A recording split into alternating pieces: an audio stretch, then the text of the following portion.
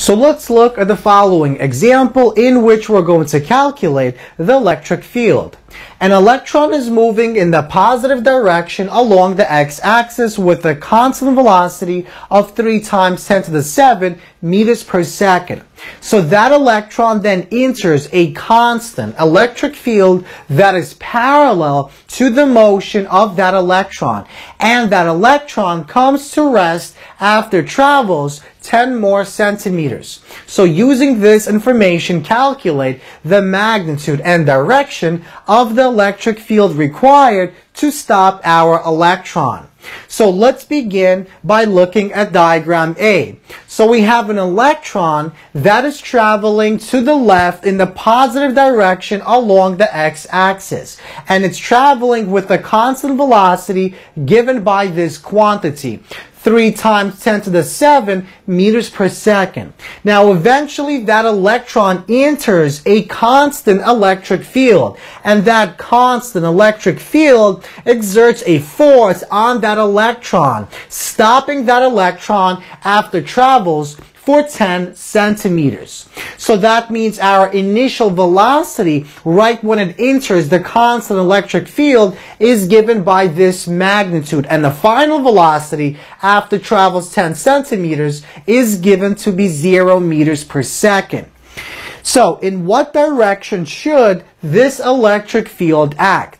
Well, because our force must act in this direction towards the left along our x-axis, and because our electron has a negative charge, that implies that the electric field should point to the left along our x-axis in the opposite direction of the force.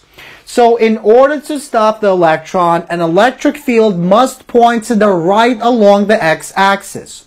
This field will create a force that will point in the opposite direction, meaning to the left. So our force that is created by the electric field points to the left, and that is what stops our electron.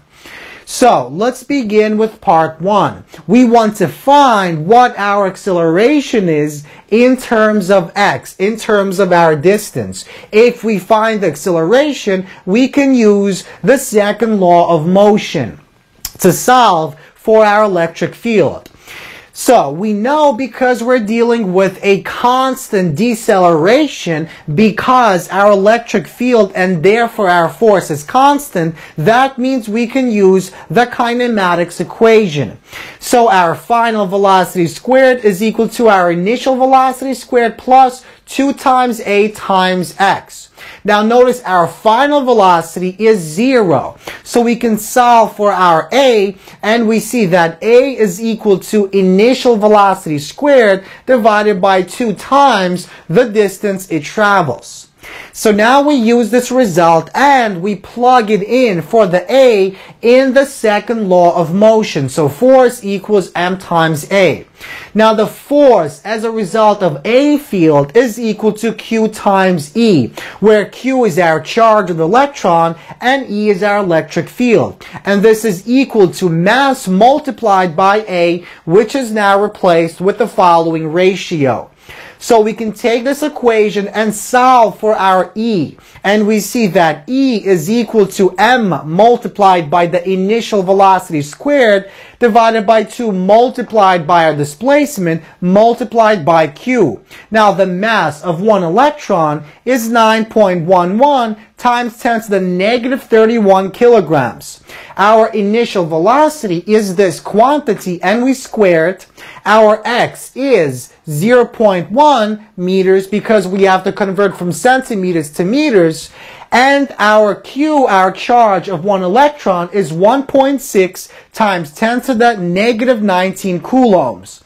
So we plug this into our calculator and we see that our electric field is this large. So this is our magnitude of the electric field and the electric field points in the positive direction along our x-axis.